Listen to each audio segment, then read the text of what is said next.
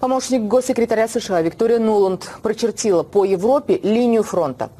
Сегодня она заявила, что НАТО должно как можно скорее развернуть командные пункты и создать силы быстрого реагирования в европейских странах, граничащих с Украиной.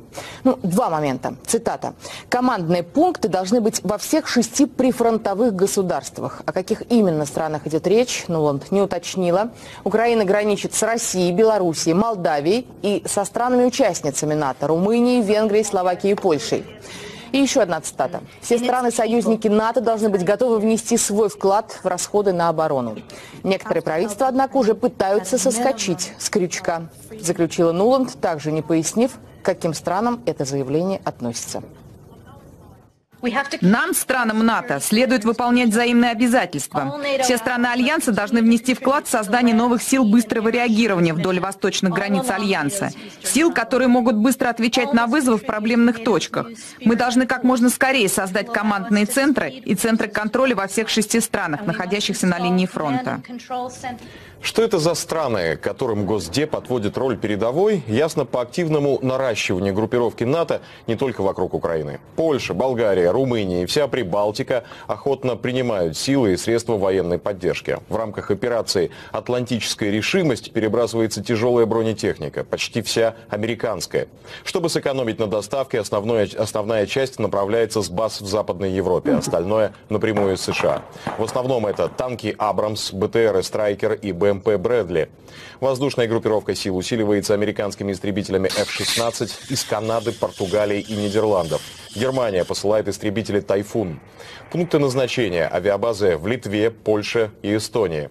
Вдвое чаще по сравнению с 2013 годом российские системы слежения регистрируют полеты боевой авиации НАТО у наших границ.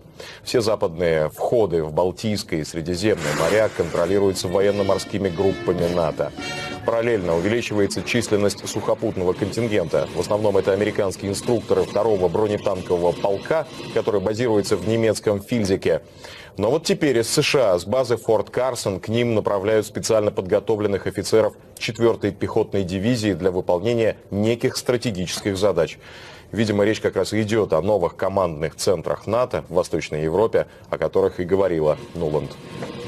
Президент США на следующей неделе намерен убедить Конгресс увеличить на 35 миллиардов долларов военный бюджет.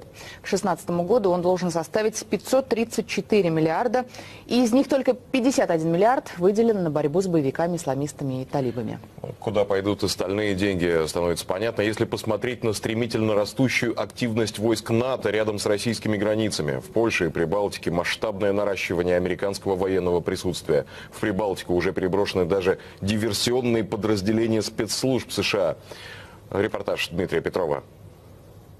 Атлантическая решимость – так называется миссия, которая привела в движение натовские войска, корабли и самолеты в Европе. В Польше и странах Балтии как раз сейчас завершается ротация. Заступает на дежурство батальон второго бронетанкового полка с базы в немецком Фильзике. Вроде бы мелочи, но скоро к ним присоединятся еще 100 военспецов из состава 4-й пехотной дивизии. Они-то и возьмут на себя общее командование американскими сухопутными подразделениями в Центральной и Восточной Европе. А это уже стратегическая задача задача. Началась переброска военной техники. Американские танки, бронетранспортеры, всего около 50 единиц. Официально для тренировок, но на самом деле... Это самый начальный этап. Поэтому для внешнего наблюдателя он пока не выглядит слишком масштабным.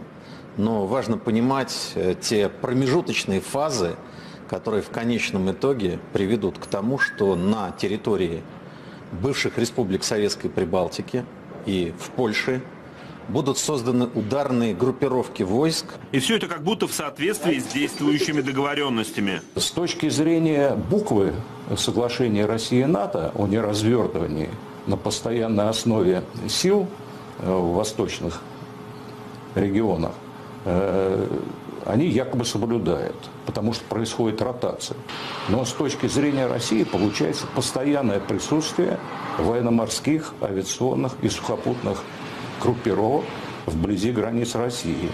И спрашивается, кто продвигается-то? Не мы же в Европу. Натовцы наращивают и военно-воздушные силы в Литве, Эстонии и Польше. Также формально на условиях ротации дежурят 16 истребителей союзников. Занимаются мониторингом и сопровождением наших военных самолетов вдоль воздушных границ стран Альянса.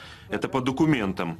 Если говорить об Эстонии, то подлетное время буквально несколько минут составляет э, для пересечения границы с Россией, а до Санкт-Петербурга ну, порядка 10-15 минут в данном случае польские и итальянские самолеты способны нести атомные бомбы свободного падения, которые расположены на территории Европы, 200 американских атомных бомб, то это создает угрозу для России прямую. От э, Шауля из Окняя до Смоленска или до Москвы 15-20 минут летов.